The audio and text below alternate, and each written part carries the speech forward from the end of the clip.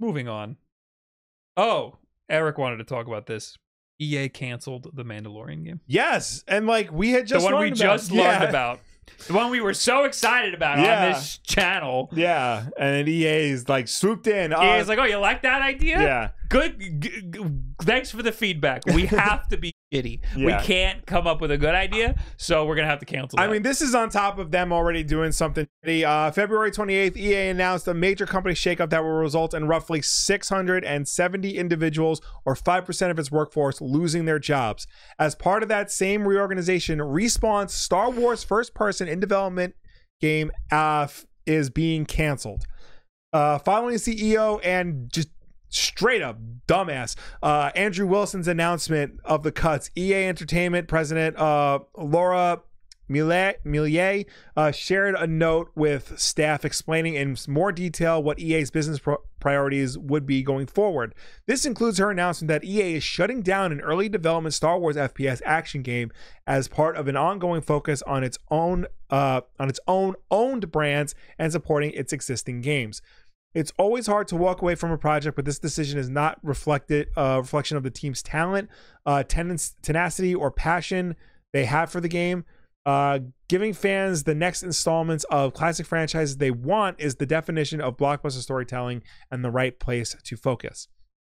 Not much was known about the Star Wars first person shooter, but it was rumored to feature the Mandalorian protagonist in some way. Uh, the fate of EA's Star Wars strategy game is also unclear. EA is undertaking the move uh, in part due to what it perceives to be rapid shift towards large open world games, massive communities, and live service games. cool. Um, IGN understands that the team previously working on the game uh, will largely be reassigned to other projects, including Apex Legends, Iron Man, Black Panther, and the Jedi series, uh, for which EA has confirmed a third installment. The Star Wars Jedi franchise will continue despite EA's move to focus on owned IP, and EA is said to remain focused on its long-standing partnership with Disney and Marvel. so EA fired 670 individuals. Mm-hmm. Uh, I'll note that the CEO last year made 20.7 million dollars, and they had major stock buybacks last year. So all of the executives uh, got their stocks bought back at a premium. Yeah, that makes sense. Yeah. That's exactly how this that should work. That's exactly So how they it's supposed to spent all of that money on the executives, and then they were like, "Ooh, we ran out of money. Oh no! Can't pay you guys." I can't just fund you out of pocket. Oh no. This after creating terrible decision after terrible decision as, a, as a company. Like, there's there's so many things here.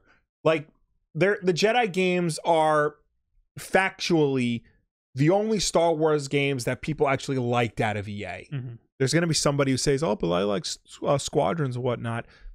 It, it wasn't that good. Yeah. So the Jedi games were fundamentally the only games people actually liked, even though EA clearly did not want to make them because they did not think single player only games made money anymore. It's their best selling Star Wars game. They're the most beloved Star Wars games made by Respawn, who has shown to make great game after great game, be it Titanfall 2, be it Apex Legends, or be it the Jedi games.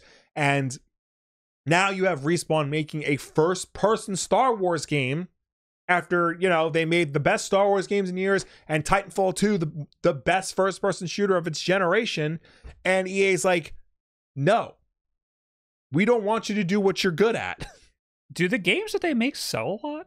Because so well, okay, so they have sports stuff. EA Yeah. yeah. So that's like they always have that yeah, it's their moneymaker. yeah like the their foot their soccer games like dominate So I'm I, I pulled up the list of all their games or their published games because I just want to know like when was the last time they had a good game? yeah Uh, uh Jedi Survivor, of course. mm-hmm. Uh, Dead Space was bad, right? People didn't like that. no people like Dead Space Oh, They people didn't- didn't like the other one, Callisto Protocol. yeah Yeah. Uh, Dead Space, okay, that was last year. yeah Okay, we'll, we'll But- allow it. But you know, the Dead Space remake is essentially EA trying to capitalize on a franchise that fans liked, but EA continually tried to ruin Yeah. game after game after game until they released the third game, which was an absolute disaster. Before that, wait, wait, what's Titanfall Assault? Probably some dumb Real time strategy mobile game. Yeah. Yeah. There you go. I don't. Dragon Age Inquisition 2014. I think was the last good And I- I EA think- game. I think they're making a new one, but like I don't know if I I, skipped Battlefront 2 because that wasn't. I didn't like that. yeah, it Battlefront 2 wasn't good. Um I legitimately think Dragon Age Inquisition was the last good EA game. yeah. before fucking Dead Space. yeah. There's Need for Speed. Okay, so I, those are probably good. Yeah, you know. Dirt, dirt games are good. Hmm That's that's that. How are they around? How are they one of the biggest game companies on the planet? I think they're just coasting on like all the all the games that they used to make that were really good. Mhm. Like especially like of course the you know the Madden and the FIFA games or Football Club now it's called. Um all their sports games of course make, you know, bank. But yeah. It's just you know, when it comes to like the traditional AAA console space, them out of like all the companies like just continuing to make like the worst decisions. Because like they don't really have an original bone in their body. A lot of their games especially during like the 360 ps3 era they were like i don't want to use the term me too games because like that has a whole connotation to it. During the what era? the 360 ps3 era. Okay. they were like oh you like call of duty we have that too it's called medal of honor Oh, Oh, the- okay. that's what i mean like it's, like- it's like a, too it's like a pick me, Yeah. pick me game. Exactly. That's what I meant. It's like, oh, you like God of War? We have Dante's Inferno. Oh, you like Grand Theft Auto? We have The Godfather. You know, You know what though? It worked for them. To a point. Yeah. I think it became blatantly obvious what they were doing, Mm-hmm. and people like don't like didn't like the new Medal of Honor. They made fun of Dante's Inferno. You know, Godfather One. I liked Godfather One. Nobody liked Godfather Two. Throughout the years, EA had uh, like there would be a diamond in the rough every once in a while. Yeah. there'd be a game where I'd load it up and it would say EA games, and I'd be Mhm. like, oh, it's EA. I didn't realize that. I but for like, the most part, you know, you're getting something that's not going to be great. Look, I will defend PS2 era EA because like they actually put time and effort into All their I'm thinking of is is uh the uh, Agent Under Fire. everything no, or Night, nothing. Night Night Fire, You're thinking of everything or nothing. the one that was filmed like a movie. Yes.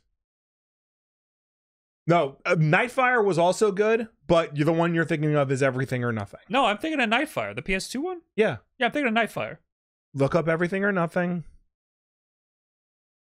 The one with the motorcycle level. That's everything or nothing. Nightfire was the first person shooter. You're thinking of I'm that thinking, one. I'm thinking of everything. or yes, thank you. I'm thinking of everything. Yes, like EA, like during again during the PS2 era, their James Bond games were really good. Their Lord of the Rings games were really good. You know, they they had a few like you know duds here and there, but like when they actually put the time and effort into things, they were really like their their um their Need for Speed games during that era were great. But Yeah, their Medal of Honor games during that Bur- era were great. Burnout, Burnout, yeah. Medal of Honor took a hard dive. It did. Yeah. Yeah. But nowadays it's just like they're chasing trends. They're innovating in the wrong places. They're not giving themselves enough leeway to uh do uh do a fun thing. You know, Yeah. they're not they're not they're not uh or if they try to do like a fun thing, there's always like a caveat to it. yeah, there's always something Yeah. like a live service thing. yeah. Exactly.